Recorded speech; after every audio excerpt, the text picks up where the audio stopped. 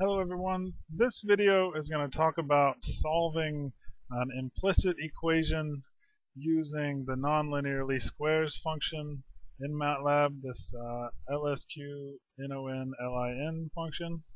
So to do this, we need to do a few things to get our equation uh, to a position to do that. So I've, the equation I'm solving is this equation 1301 uh, it's a, a function, so I have these delta. Delta is a is a variable defined as a symbol.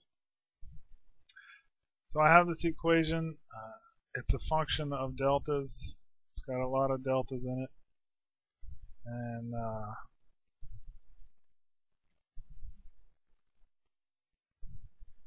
it's quite long. Anyway, so I take I take that equation and I'm going to turn it into a character string.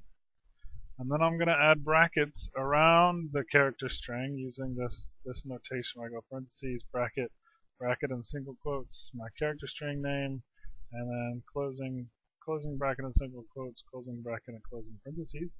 And I'm going to replace the delta the unknown variable in the equation with x x of 1, uh, the LSQ nonlinear function looks for x's if I can if I remember correctly.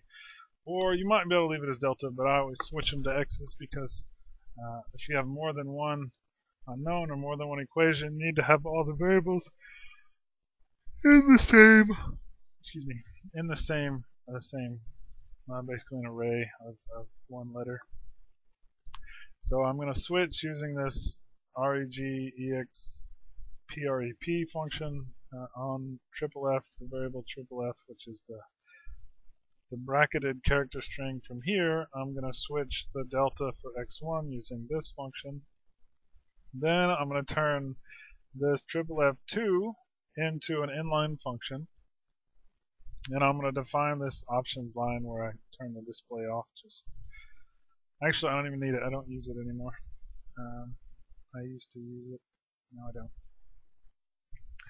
And then I'm going to use this line to solve the equation. So it's x, which will be my solution. This is uh, just something about how the the solution method method works. I can't remember the term I'm looking for now.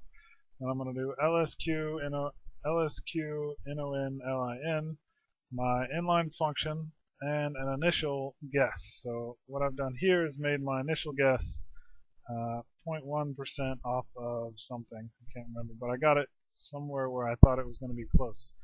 You can also use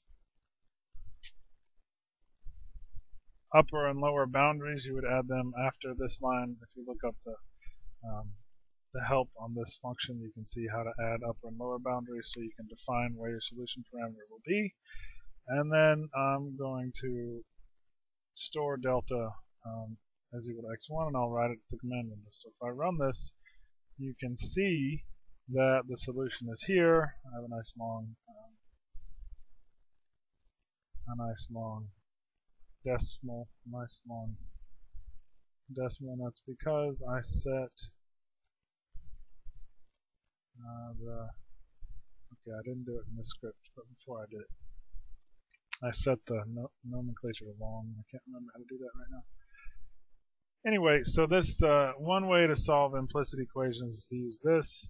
It's a little, it's a little, let's call it finicky. It's a little tricky. You can get, uh, if you don't put in boundary conditions, you can get solutions way far away from where uh, where you think you need to be. So you, are, you need to check your results to make sure they're, they're somewhat reasonable. But it has worked for me in the past. So I hope you find this useful and have a good day.